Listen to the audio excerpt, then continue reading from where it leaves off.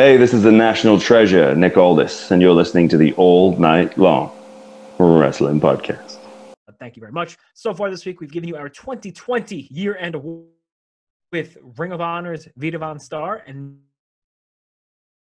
2021 was it 15? I think it's 15, right? Wrestling 15 prediction. Yes. Um, as of right now, it's 4:26 on Saturday afternoon. Um, Wrestle Kingdom is going on a schedule. There's um some hubbub, Joe, right? A kerfluffle about maybe there's a state of emergency in Tokyo. I don't know, man. They're pretty uh, tight-lipped on what's going on over there, but as of right now, Wrestle Kingdom is going on as advertised. So that uh, that's good news for us here in the states, Joe. Yeah, I think it's the bird flu, right? A bird flu is causing some problems over there. Is that what it is? You know, oh, yeah, yeah I um, I SARS. My, my didn't E. coli was it E. coli? Didn't where did SARS start? I I don't know. I'm not really um not really a scientist, so I think it's West Nile. Maybe is that what it is? Is that what the virus? Encephalitis. Yeah. Yeah. yeah. Like Black plague. That's probably what it is. Yeah, I think that's you know what it is. You know what's funny? If Marty Scurll didn't get himself in trouble, that plague doctor mask really could have been a top seller this year. But here we are, right? I actually saw a true story. Some a guy wearing one of those in Target one day. That's true story. That's are you serious? Yeah. Did you ask him where he got it and where you could get one? I almost took a picture of him, but I just felt like that would open up a lot of other. Oh, he would have he would have cut your body in half. Like yeah, trails like uh, Jack the Ripper. Can we call you Joe the Ripper? You can call me whatever you want. I mean, it's 2021. I think I think you can say anything you want um, these days. So I don't know. Oh, I learned that the hard way. Uh, you can't. There's a couple things you can't say, but oh. there are a lot of things we can say. And what we are going to say today um, is a lot about Wrestle Kingdom 15. So, Wrestle Kingdom 15 is the second year in a row that they are doing a two night show back to back in the Tokyo Dome. Um, it is, as Joe just informed me, a what is it, 5,000 seat capacity, I think, as per the um, the rules and regulations. Yeah, last I had heard they were capping it at 5,000 fans per night. Now, I don't know if that's changed uh, to be any lower because of the the outbreaks going on over in Tokyo and Japan in general, but that was the last I heard. So it's going to be a small crowd either way um, for both nights. It kind of sucks, um, but to be honest, five thousand people is way more than any American venue has had. Um, I know WWE is really pushing for WrestleMania to have fans, but I don't know what it's going to be. I, dude, who knows if it's 1 2 2021? We're like a week away from Mad Max Beyond Thunderdome. Who knows what the world is going to be like? You know, it's, I feel like we're, uh, I feel like we're counting down the days, right? Like, not to be bleak here, but I don't feel like the world has much, much time left. Is that fair? I mean, you know, I don't know, dude. I, uh, yeah, like you said, I, I think, I guess WWE is trying to um, have WrestleMania somewhere in Florida where they can have a certain amount of fans. I don't know. Um, I know they wanted to try to get fans at the Rumble. I don't think that's going to be happening. AEW, I think, had their most fans this past week. It was a little over a thousand at Daily's oh, Place. So I don't know. I mean, it's it's hard right now. We're still really in the same state that we've been in. Um, so I don't I don't see much changing at least until the spring. So maybe there'll be some hope for WrestleMania in the United States to have some fans in it. Uh, but I guess we'll have to just wait it out. Just you know, get those get those vaccinations and uh, see what the outcome. So you pushing the vaccinations, buddy? You, you pro-vaccine? We want to get everybody vaccinated. I'm just kidding. We're not doing that. But if you do want to get the vaccination, I think you should play the video game Resident Evil first. Just learn a little bit about the history of what's going on uh, and then we'll, uh, we'll we'll see what happens. But let's start Wrestle Kingdom 2021, Wrestle Kingdom 15, Night One. Um, let's. Uh, I got the card in front of me. First match of the night, the dark match, the New Japan Rambo, and you and I have no ducking idea what's going on in this match. There's 22 New Japan professional wrestling wrestlers in there. Um, it, and it, whoever wins will challenge for the King of Pro Wrestling trophy on night two, I think. But the King of Pro Wrestling trophy match is four. But next, next up, here's my answer: Minoru Suzuki. That's my answer. If he's he's not booked on any other uh, match, right, for these next two nights, I think. So it's Minoru Suzuki. That's it. I would pay to watch Suzuki murder uh, your boy. Gargano. Next up, Hiromu Takahashi versus ELP El Fantasmo. Um, who the winner of this will challenge for the IWGP Junior Heavyweight Championship on night two. ELP won the American um, New Japan Cup. What was it? Yeah, whatever the tournament was they had, in America. Was it Best of the Super Juniors or was it the Super J Cup? It was one of those two. I believe it was uh, the Super J Cup, and um, the winner of this will uh, wrestle Taiji Ishimori on night two. So it's a tough one, man. Um, ELP has a lot of steam behind him, and he's been uh, very good in New Japan Professional Wrestling. Again, it's been a tough year all around, um, but I think uh, Hiromu Takahashi is going to return to form, and uh, it should be a fantastic match. These guys are, are going to go on absolute balls to the wall, and it's the best way to open the show. It's going to be the fastest paced match of the night. But I think uh, Hiromu Time Bomb Takahashi wins this one. Yeah, I agree with you. I thought about this one a little bit because, like you said, El Fantasmo has been on a good run, and I think it would it would be interesting to see him and Ishimori face each other head to head because I think they were teammates in the past. But uh, I'm gonna go with Takahashi as well in setting up Takahashi versus Ishimori on night two. Next up, the tag team title match for the IWGP Tag Team Championship. Uh, Dangerous Tekkers, Tai Chi and Zack Sabre Jr. taking on the GOD. Ain't nobody realer than Gorilla. Um, champion uh, Dangerous Tekkers, I should say. I think uh, God takes the titles here. I think Zack Sabre and Taichi have had a really good run, um, and I, I really enjoy what they do. Um, their their style is really they're, they're gelling well. The matches are really good. Um, there's good psychology in the matches, but I just think uh, God might be the longer term stabilized. So, and it's been a while since they had the title, so I'm gonna say God. I agree. I'm going to go with God. Uh, you, you might know this better than me. Yeah, you probably do. Did they win the World Tag League this year for New Japan? God? We can look that up while I ramble on. So I'm going to go with God as well. But I guess one thing that I'm curious to see uh, if it happens is if Anderson and Gallows get involved, not necessarily during the match, but at some point on one of these shows. My understanding is that their contracts with Impact allow them to work New Japan should they choose to do so. So I I think this would if they're able to get to Japan and that's something that is an option that they them appearing on one of these shows is something that very well could happen. So I'm gonna I'm gonna I'm gonna hope that happens because I think that would be interesting to see. Um, but officially, my pick on this match will be uh, God. God, who did defeat Finjuice at the finals on the uh, World Tag. Yeah, I mean, there's a lot of question marks going on in terms of um, Anderson Gallows, even Kenny Omega. Um, it gives another layer that I, I wasn't prepared for, so I'm, I'm excited for that. Uh, Kenta, next up, certificate holder, Joe. It's a certificate versus Satoshi Kojima for the IWGP American title rights certificate.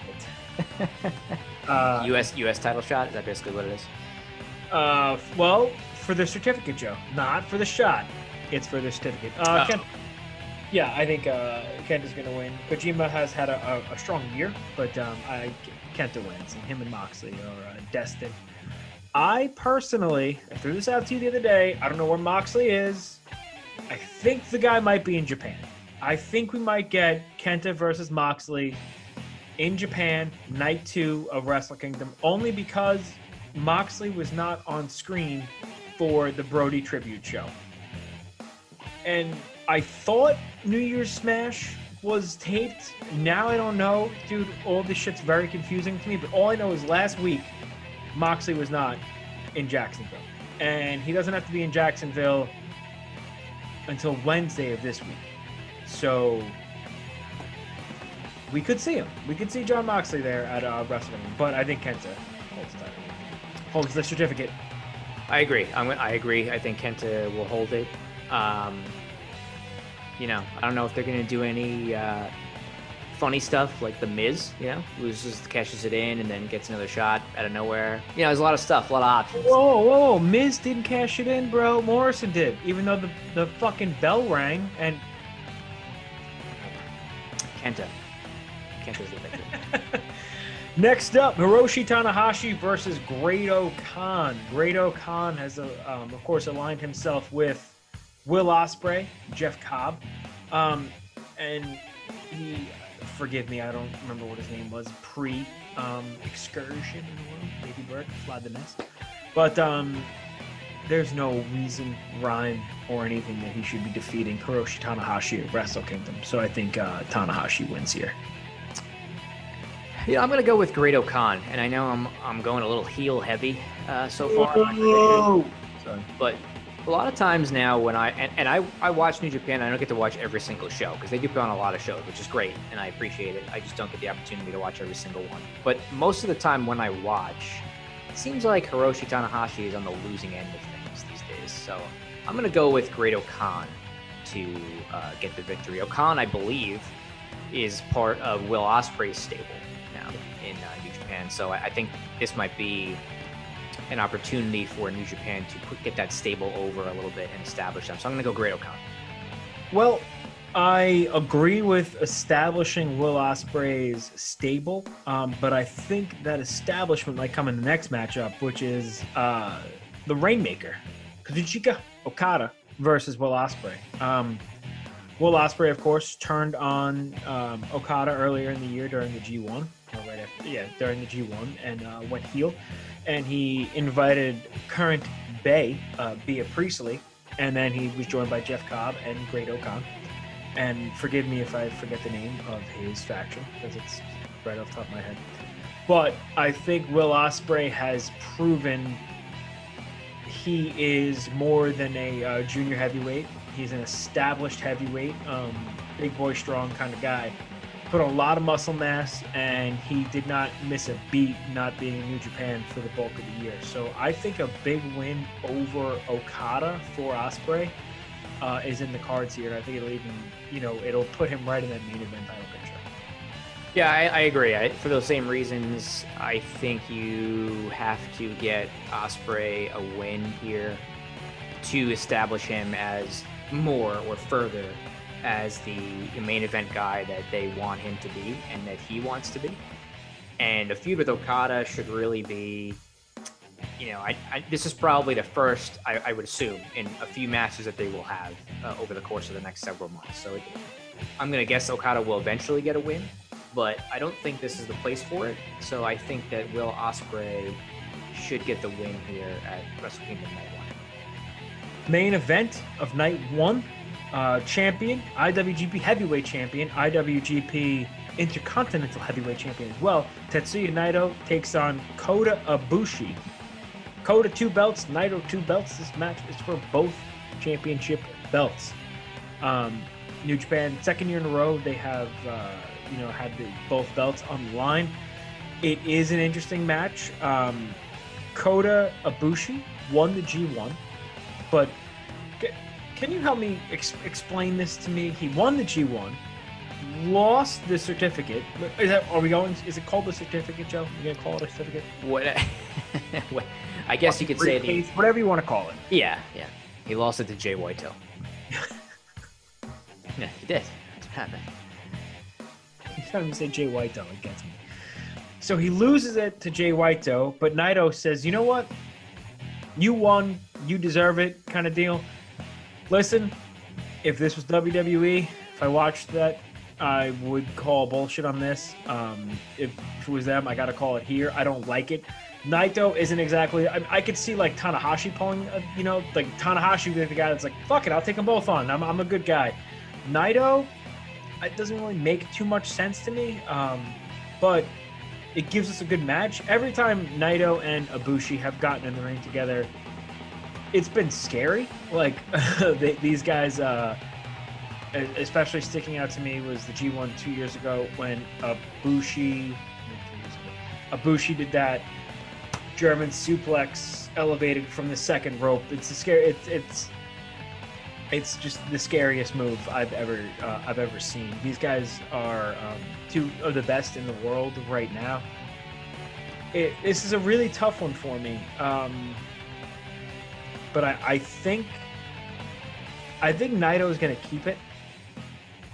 Um, yeah, I I'm going to stick with Naito here. Um, how many times has Naito won the titles and then lost them like immediately? And I don't think we can keep doing that again if we want to establish Naito. He's not the up and comer. He's I mean he's, he's not old. He's just not he's not like he's I think he's 38, 39 years old. Let yeah. Naito have a long run with the title. Let Lij reign supreme and um, he seems like the almost like the Tanahashi territory where he could lose and it's really not a big deal because he's going to come back and put on a great match and get another uh, significant win here. But I think you have to keep the belts on Naito. So I'm gonna go with Ibushi uh, because similar, like you're saying, he seems to he'll get a big win and then maybe he'll he'll lose something along the way, right? So he he won the G1 in 2019, and then when he went to Wrestle Kingdom, he lost to Okada, and then he lost the next night to Jay White. So he lost two nights in a row at the biggest show of the year. This year he wins the G1 again for the second straight year, and then loses the rights to the title shot to Jay White. So I think that, and this will play into my prediction for night two as well. I think this is the year that they should do like a bit of a redemption for Ibushi, um, and he should win this match and win both titles on night one, and then get an opportunity to face Jay White in night two. I think so. I think that's what's going to happen. I think Ibushi is going to win and win both titles on night one, and move on to face Jay White on uh, night two of Wrestle Kingdom. Can I throw a fantasy booking idea at you? You absolutely can. I'm gonna I'm gonna go ahead and turn some lights on in my house while you do that. So please please go ahead. Sure. New Japan is not known for triple threat matches. Um, four corner matches here and there, yes, but not triple threat matches. I think, being that you have two shows back to back, I would love to see some sort of Schmageki screw job night one leading to a triple threat match for all three, all, all all um, for both belts. Buster agrees with me, which means I'm on the right track. A triple threat match for both belts on night two. I think that would add, in a weird year where shit doesn't make sense anyway, it would add a lot of. Uh, it- it's not something anybody would expect from New Japan to do. Um, it's it's kind of not like hot shot booking, but it's like there's usually for the most part a finish, even if it includes Gedo and Jado and douchery. But I would love to see like a, a double something, something on night one because you know you're going to get a finality in night two, so it's not like you feel completely getting screwed on night one. I, I would like to see it It'd be something different than New Japan really has never done. That's just Yeah, and I also wonder when they're gonna split those belts apart at some point again, or if they will. You know, it's been this way for a full year now, where they've been unified.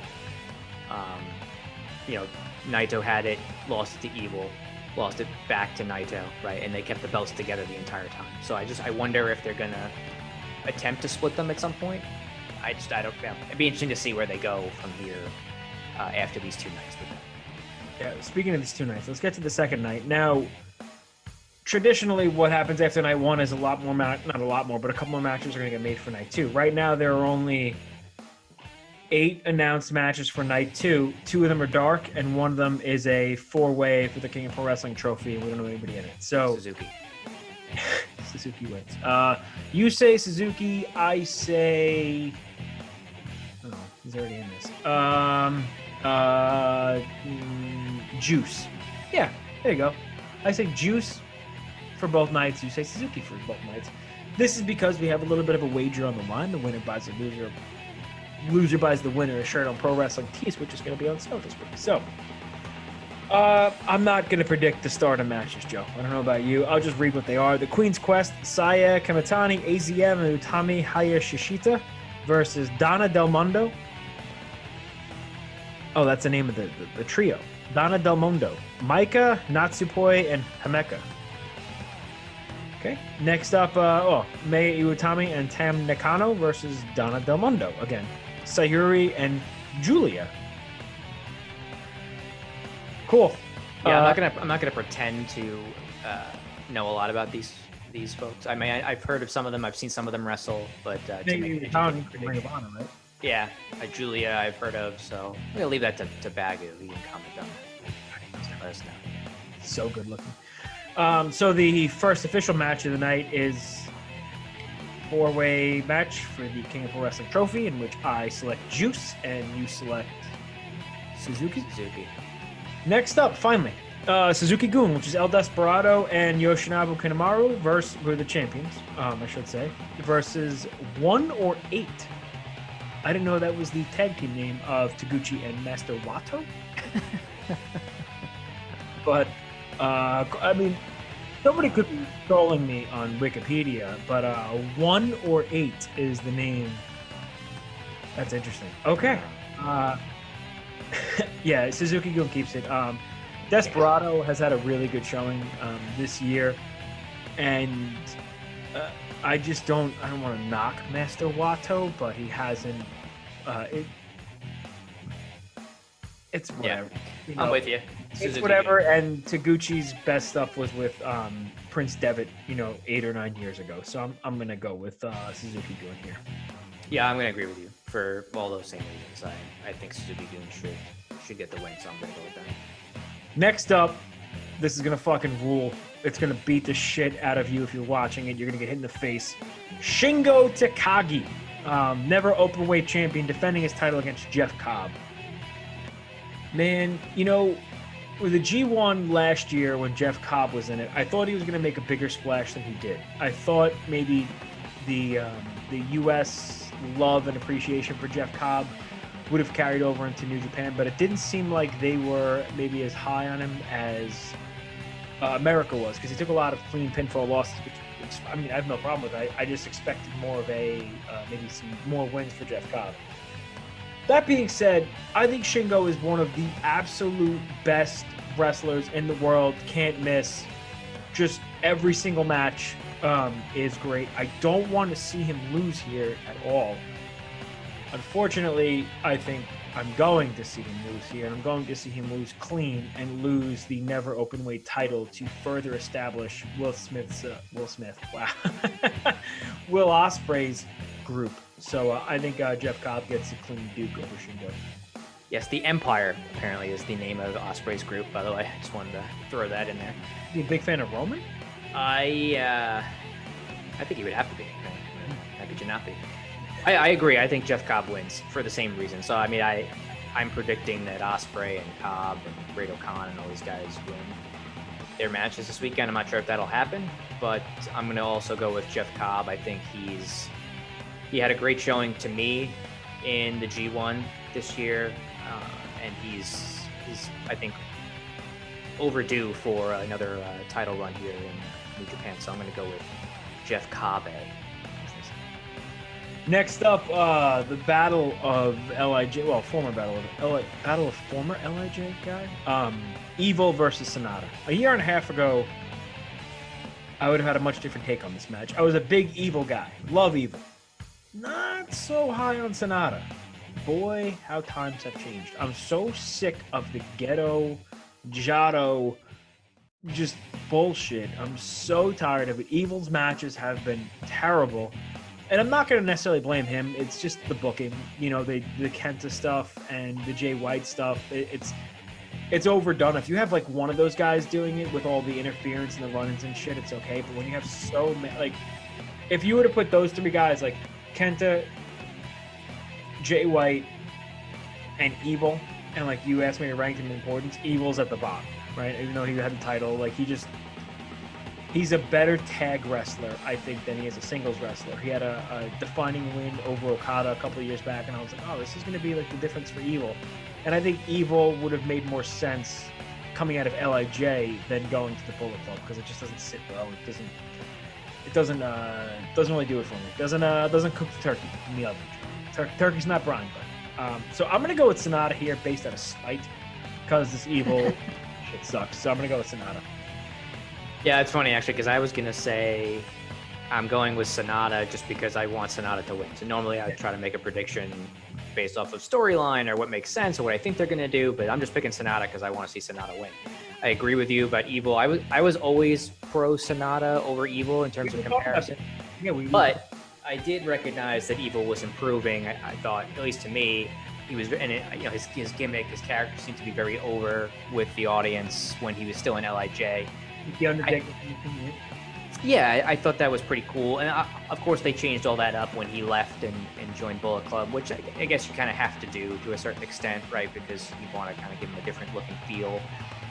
I just think that one of the things that 2020, as far as New Japan will be remembered for, for me, is uh, I think that the Evil title win over Naito was a bit of a misfire on their part. I understand what they were trying to do, right? You want to make another main event level heel, you know, catapult Evil into that level. I just it didn't go as good as I think it should have gone. The matches he had with Naito were not great. So to me, his stock has, has actually has dropped a little bit now. And uh, if you have a good, sorry to cut you off, but if you can't have a good match with Naito, who can you have a good match with? Yeah, and, and like you said earlier, a lot of that Bullet Club interference stuff, it just kind of gets a little bit, uh, a little bit old with the Dick Togo stuff now. So anyway, I'm gonna go with Sanada as well. I'll be pulling for Sanada to win as much as anybody this weekend. So go Sanada. What do you think he orders when he's in the drive-thru? Dick to go.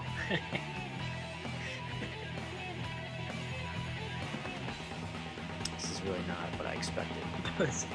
but to be fair about this Bullet Club interference, like you're gonna see it on the card. If you have Kenta, Jay White, and Evil on the card, you're gonna see it three times. And when Evil was in the main event, but it was the third time you saw it, like, all right, I'm, I'm tired of this shit. I get it. Whatever.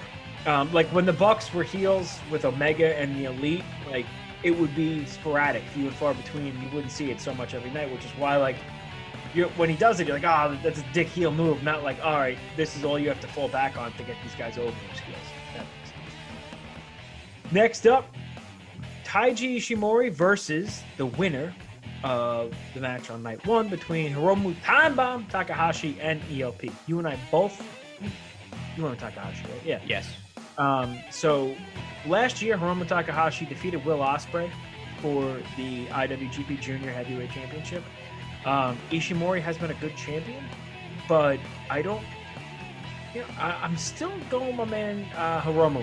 I, I, think he's probably the best wrestler in the um, junior heavyweight division, and I um, I like Taiji Ishimori, but it, is it is it me? It just kind of feels like he's missing something.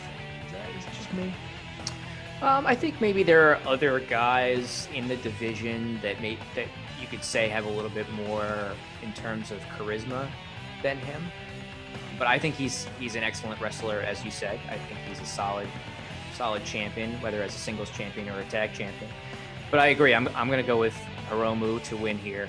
I almost kind of feel like Hiromu is slotting into the role of what Kushida used to be in the junior heavyweight division, where like Kushida was kind of the featured babyface for a long time, would always find himself in these junior heavyweight title matches, especially at Wrestle Kingdom.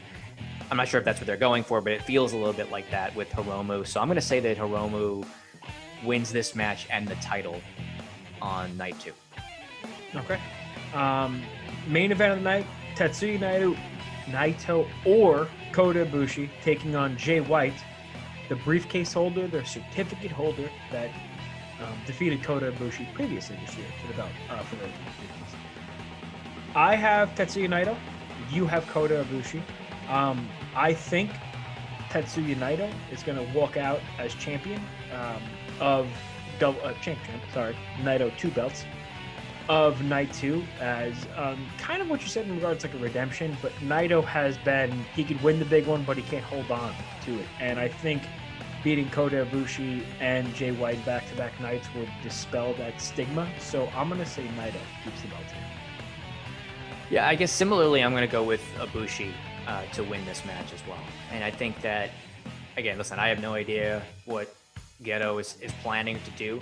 I just think that it would be cool as a story of you know, Bushi wins the G1 in 2019. loses both nights at Wrestle Kingdom uh, last year. This year he wins G1 2020, loses his opportunity at the title shot, and then Naito goes ahead and gives him a shot. He'll win it on night one, and then I think he'll get revenge on Jay White in night two and walk away as the double champion, double gold, I think that's what it's called. Um, Oh, yeah, double gold. yeah, so I think that I think that's what they should do. I, I, Ibushi, I believe, is about the same age as Naito, or very close to it. So, you know, he's he's been back with New Japan for a couple of years now. I think he signed like a, what, what amounts to a lifetime contract with them. I think he's at the top of his game. Was that? They're both 38. They're both 38. Yeah, there you go. So I think I think he's at the top of his game, and you know, you give you guy a guy wins G1 two years in a row. I feel like it's the time to put the the title on him. You know, it doesn't look like they're going to go back to Okada right away unless you know they set things up coming out of these shows. So I think it'd be good to put it on Ibushi, and you can work uh, with some programs from there. Maybe he, you know, he works with Ospreay in the title program at some point during the year. Um, you know, there's of course there's, you know, Evil. There's other guys that he can he can work with um, as a babyface. So I'm going to say that Ibushi ends up, you know, the champion at the end of these two nights, and it's really all about, uh, you know, him walking out as the top guy of New Japan after this weekend.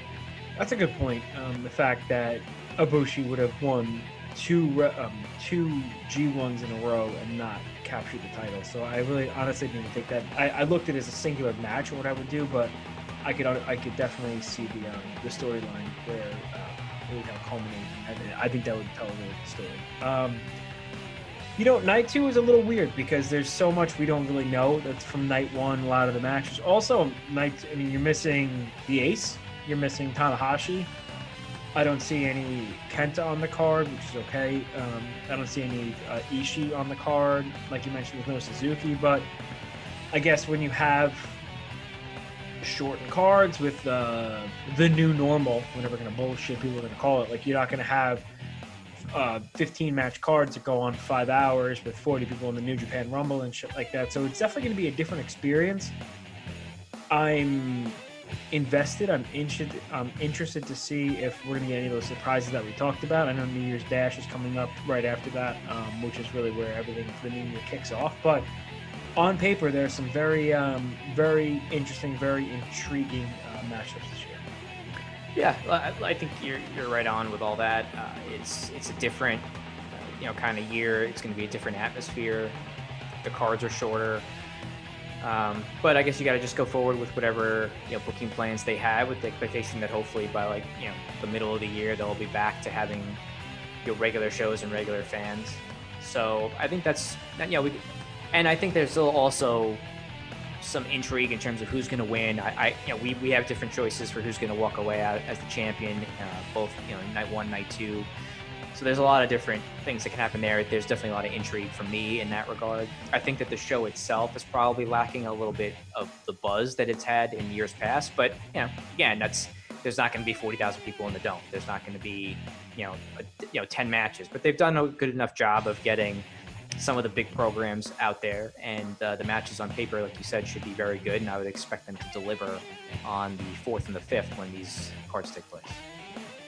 Um, yeah, the the buzz, even like the buzz hasn't been there, but not for lack of trying because they had the World Tag League. They had the best of Super Juniors. They have the Fighting Spirit show on Friday or um, whatever they call the the Friday night show in America. Like they have, there's they're doing the best they can, all things considered. I think the world is just in such a, a shitty place for some people. It's tough to focus on that, but I guarantee Tuesday morning, Tuesday afternoon, whatever, the hell- whenever the show is going to be over, people are going to be talking about it. Um, and I, I don't know, I just have a feeling we're going to be in for some uh, for some surprises and some good wrestling. Did you want to recap SmackDown from last night? Uh, no, I don't. Uh, I don't think so. I don't think so. I mean, if anybody wants us to, they can they can tweet us and say, "Hey guys, we really want to hear SmackDown reviews every week." More Sonya Deville is what we're getting at. Yeah, yeah, uh, that that type of Not thing. too much Sonya Deville, but like a little bit of Sonya Deville. A little bit of Sonya Deville. Yeah, and if you want to tweet us, you can do so at the all. Oh, I'm sorry, at all night long WP all over your social medias, your Instagram, your Twitter, Facebook.com slash all night long WP, and make sure you go to YouTube.com and follow our friends over at Wrestling Headlines as they take care of us and they host all of our um, podcasts over there. We very much appreciate them. And if you're in the mood for some swag, it's uh, the holiday season. You got some extra cash burning a hole in your pocket. Go to our friends over at Born Scum Clothing Company. Use the promo code at promo codes all night long. At I'm giving I'm giving I'm giving Instagram handles now, Joe. All night long. Take 10% off. You want hats, you want hoodies, tank tops, soap on a rope. They got it all. Born Scum Clothing Company. And be sure to follow us along, like I said, on Twitter. Uh, we'll be talking all week about Wrestle Kingdom. And uh, Joe, what did I miss? I feel like I missed something. No, I think you got it all, buddy. That was it. You sure you don't want to talk more about SmackDown? No, no, I'm sure. Yep, I'm. Uh, I'm good. What about the Miami Vice podcast you and I were talking about? I think, you know, I don't, I don't know, man. I was, I was, I was, I was kind of putting it out. Someone had done a Miami Vice podcast, like episode by episode. I sent, I sent it to Mikey, um, hoping that he would maybe have interest in I'm in. starting up his own Miami Vice podcast. Um, I thought we were, I thought we were going to start the Miami Vice podcast. oh, okay. Well, I mean, if people are interested in that, then uh, absolutely, we could see if we can get Don Johnson on. DJ, my man. You know, Bill Michael Thomas. Uh, God, he's if nothing, I think we should start dressing like them when we when uh you know what let's let's make this decree right now, January second, twenty twenty one, the first wrestling show in New York that you and I can attend in person. We will dress like Crockett and Tubbs. Can I get a virtual handshake? I'll wear fucking salmon undershirt, white loafers, white sports coat, Sperry boat shoes, and you have to dress like Ricardo Tubbs. yeah, I'm in. That's not even no hesitation. All you need is uh, to be black and a Jheri curl. And Okay. um, I, and he, I mean, he usually wears like blue, kind of like a, a denim look. If you can get a Jheri curl by then, you and I will be at shows like Crockett and Tubbs. It'll look think- like when everybody dressed up like the Horsemen in the '80s. Yeah, I think my girlfriend has like a curling iron or something, so I can probably if I just let it grow out a little bit and Yeah. then I can just you know curl it up and uh, workshop some suit uh, and shirt combinations, and I just need one of those comfortable pairs of shoes that you talked about, and I should be good to go. Yeah, I'll get you some of them Sperry's, and uh, I forget what they put in there, uh, like maybe like motor oil in the hair. It's it's all deadly. It's uh, you know, ne- 2021 is the new 1986. That's how I look at it. And uh, before we, um, you know, we really get going on this um, Miami Vice podcast, we're gonna let you guys go. We thank you for checking out the all night long wrestling podcast. And he's the stallion. I'm the enforcer, and we're tapping out.